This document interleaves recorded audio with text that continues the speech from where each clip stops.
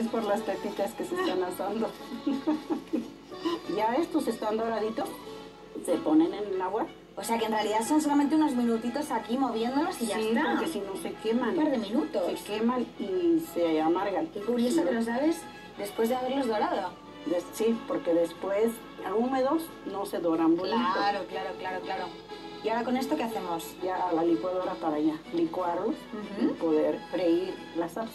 Ahorita vamos a, a poner la cebolla, el ajo, unos pocos de chiles, Estos chiles que ya están doraditos que y ya lavados. están dorados y lavados. Tanto los guajillo como los de árbol. Sí. Ahorita va la sal.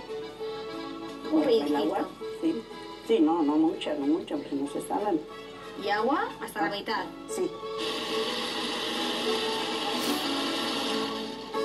Petra, estoy viendo semillitas por aquí. No se las quitas a los chiles. No, No. pero lo vamos a colar. Mira, pero esto es todo lo, por eso lo cuelo, porque esto es todo lo malo que no se debe uno de comer. La verdad es que queda ahí una cantidad de semillas y pielecitas que dan un poco de miedo, ¿eh? Sí, siempre así lo he hecho. ¿No se te enchilan los dedos? No, no, no. Porque luego me lavo y ya se, se quita.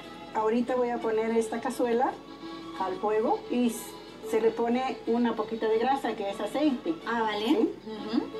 Ahora que está ya la cazuela caliente, Mm. se le pone, se le echa la salsa para que se cosa.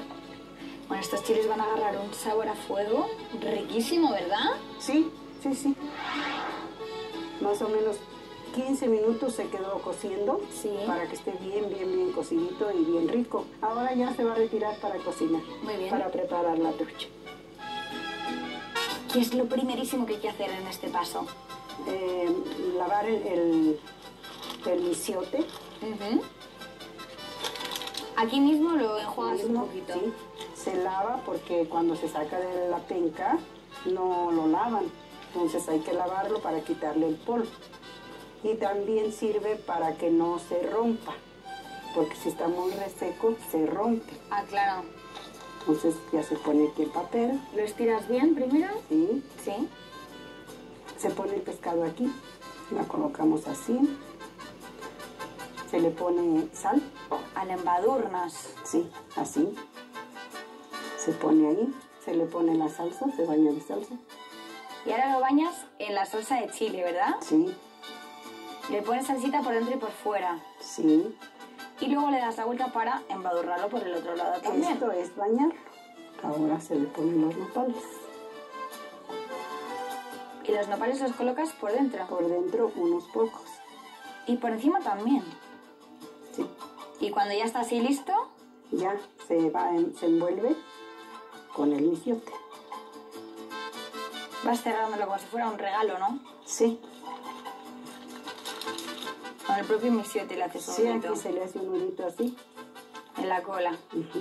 Y ese paquete, a su vez, lo envolvemos en otro que es la piel del elote, ¿no? Sí, hoja de lote. Hoja de elote. Sí, ¿Y por qué le pones esta encima del maguey? ¿Por qué le pones la hoja de elote? para que no se queme el, del maguey. Porque la del maguey está más frágil, Ajá. más delgadita. Claro. y la del elote está más gruesa y aguanta más la, la luz. Vas como tejiendo unas hojas de elote con otras, ¿verdad? Y clavando el palillo en la propia carne del pescado. Sí. Ujú. Es para cerrarlo bien, entiendo, y que no se vaya nada del juguito, ni de los nopales. Sí, Qué bonito regalo, ¿eh? ¿Quién diría que aquí dentro hay una trucha rellena de nopales con una salsa bien picosita? claro, y de veras picosa, ¿eh? Ya me quieres enchilar, ¿eh? Sí, no, no, no, no. Bueno, Vero, ya vamos a poner el comal al fuego para ya cocinar la trucha. Tu comal de barro, ¿eh? Que no Sí, el falte. com- Sí, el comal de barro. Ya lo vamos a poner para que se, se cosa. Se cosa bien la trucha, se queda en el comal en el fuego a un- max- máximo de 12 a 15 minutos. Vale, con el fuego altito como lo tenemos nosotras. sí, sí. Y se tiene que estar volteando para que se cosa parejo. Y le hemos puesto unos alambres de refuerzo para que no se abra, ¿verdad? Sí, porque si no se deshace porque se quema la hoja.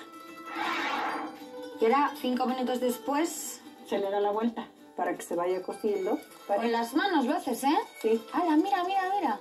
Ya está toda la hoja de lote quemadita. Sí, Pues aquí está lista la primera trucha.